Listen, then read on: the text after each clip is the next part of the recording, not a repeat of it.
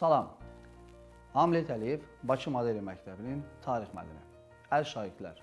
Əvvəlki dərslərimizdə biz sizinlə Azərbaycan Xalq Cümhuriyyətinin yaranması haqqında söhbət açmışdıq. Bu gün isə Azərbaycan Xalq Cümhuriyyətinin xarici siyasəti haqqında söhbətə davam edəcəyik. Cümhuriyyət hökuməti yarandığı gündən çevik xarici siyasət xətti yeritməyə başladı. Dövlət müstəqilliyinin qorunması üçün təhlükəsiz beynəlxalq şərait yaradılması olduqca vacib idi.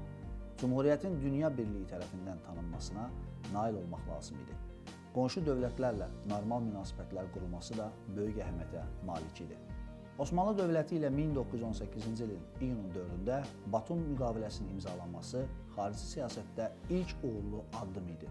Osmanlı imperiyası müstəqilliyimizi tanıyan ilk dövlət oldu. 1918-ci ilin avqustunda Berlində Sovet Rusiyası ilə Almaniya arasında gizli saziş imzalanması Bakının gələcək taleyi üçün böyük təhlükə yaratdı. Yalnız Azərbaycan və Osmanlı dövlətinin birgə addımları bu sazişin reallaşmasına imkan vermədi. Birinci Dünya müharibəsində Osmanlı dövlətinin məğlub olması Cümhuriyyətin beynəlxalq vəziyyətinə mənfi təsir göstərdi. Mudros müqaviləsinə görə Osmanlı qoşunları qısa müddətdə Bakını və Azərbaycanı tərk etməli, Azərbaycan Antanta qoşunları tərəfindən işğal olunmalı idi. 1918-ci il noyabrın 17-sində general Thomsonun başçılığı ilə İngilis qoşunu Bakıya daxil oldu. Belə çətin şəraitdə hökumət qərb meylli siyasət xətti yeritməyə keçdi.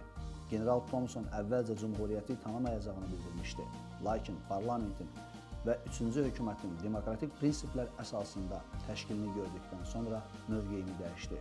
Nəticədə İngilis komandanlığı Cümhuriyyət hökumətini Azərbaycanda yeganə səlahiyyətli hakimiyyət kimi qəbul etdi. 1919-cu ilin yayında İngilis qoşunları Azərbaycanı tərk etdikdə Xəzər hərbi donanmasının bir hissə gəmisini də milli hökumətimizə verdi. Cümhuriyyət Gürcüstan Respublikası ilə normal qonşuluq münasibətlər yaradılmasına çalışır Eləcə də əhalisi azərbaycanlılardan ibarət olan Borsalı qəzası ilə bağlı ərazi mübahisəsini tənzimləməyə səy göstərirdi. Lakin Çar generalı Denikin onun ordusunun Cənubi Qafqaza doğru irəliləməsi Gürcüstanla hərbi siyasi əməkdaşlığı həyati əhəmiyyətli məsələyə çevirdi. 1919-cu il iyunun 16-sında Azərbaycan və Gürcüstan arasında hərbi müdafiə sazişi bağlandı. Tərəflər hərbi müdaxilə baş verdikdə bir-birinə hər cür hərbi yardım göstərməli idi. Denikinlə gizli əlaqədə olan Ermənistan bu ittifaqa cəlb etmək mümkün olmadı.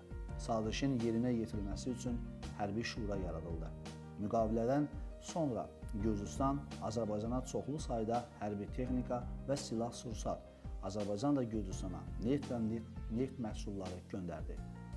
Milli hökumətimiz Şimali Qafqaza yaranmış Dağlı Respublikası ilə də yaxın əlaqələr qurmuşdu bu gənc dövlətlə bir neçə müqavilələr imzalanmışdı. Dağlı Respublikasına maliyyə yardımı edildi, yanacaq və tibb sahəsində dəstək olundu. Azərbaycan Xalq Cümhuriyyətinin mövcud olduğu dövrdə Sovet Rusiyası ilə normal münasibətlər yaratmaq mümkün olmadı. Çünki Sovet Rusiyası Azərbaycanın müstəqilliyini tanımaqdan qəti şəkildə imtina edir, keçmiş Rusiya imperiyasını bərpa etməyə çalışırdı. Rusiya 1920-ci ilin yanvar ayında Cümhuriyyətə iki nota göndərdi. Nota bir hökumətin başqa hökumətə rəsmi yazılı diplomatik müraciəti. Azərbaycandan Denikinə qarşı Sovet Rusiyası ilə birgə mübarizə aparmaq tələb olunurdu. Rusiyanın əsas məqsədi Azərbaycanı Denikinlə toqquşdurub məhv etmək idi. Azərbaycan Xalq Cümhuriyyətinin rəhbərliyi bu tələbi rədd edərək Sovet Rusiyası ilə normal münasibətlər qurmağa, iqtisadi əməkdaşlıq etməyə hazır olduğunu bildirdi. Lakin qarşı tərəf Azərbaycana qarşı təcavüzkar siyasəti gücləndirirdi. Qonşu Qazalılar dövləti ilə münasibətlər ilk vaxtlarda gərgin olsa da, sonrakı dövrdə onunla normal əlaqələr quruldu. 1920-ci il martın 21-də Azərbaycan Xalq Cümhuriyyəti ilə Qazalılar dövləti arasında dostluq müqaviləsi bağlandı. Qazar hökuməti Azərbaycanın müstəqilliyinin de yure tanıdı. De yure hüquqi olaraq deməkdir. Tehranda Azərbaycan səfirliyi, Təbrizdə isə baş konsulluq fəaliyyətə başladı. Cümhuriyyət hökuməti 1919-cu ildə işə başlayan Paris Sülh konfransına nümayəndə heyəti göndərir. Nümayəndə heyətinə Əli Mərdan bəy Topçubaşov başçılıq edirdi. Əsas məqsəd böyük dövlətlər Amerika Birləşmiş Ştatları, İngiltərə, Fransa və İtaliyanın Azərbaycanın müstəqilliyinin tanınmasına nail olmaq idi. Parisdə ermənilər Azərbaycan və Osmanlı dövlətləri əleyhinə geniş təbliğat kampaniyası aparırdılar. ABŞ prezidenti Woodrow Wilsona çoxlu saxta məlumat çatdırmışdılar.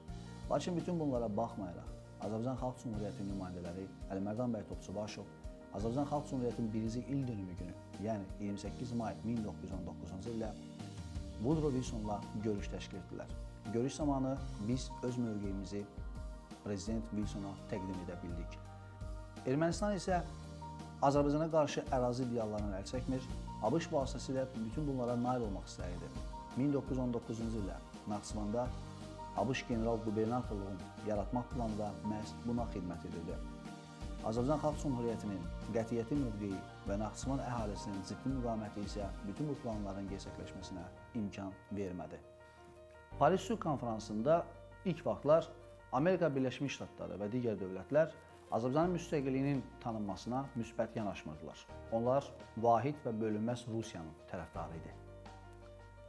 Əlimərdan bəy Topçubaşovun başçılığı ilə Azərbaycan diplomatları konfransda ardıcıl və məqsədyönlü iş aparırdılar.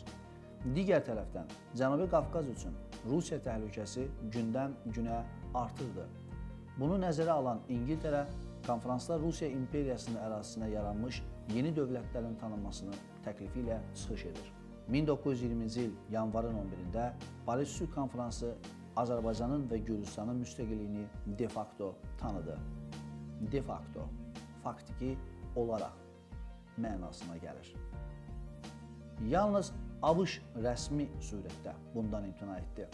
Böyük dövlətlər tərəfindən Azərbaycanın bir dövlət kimi tanınması böyük diplomatik uğur idi.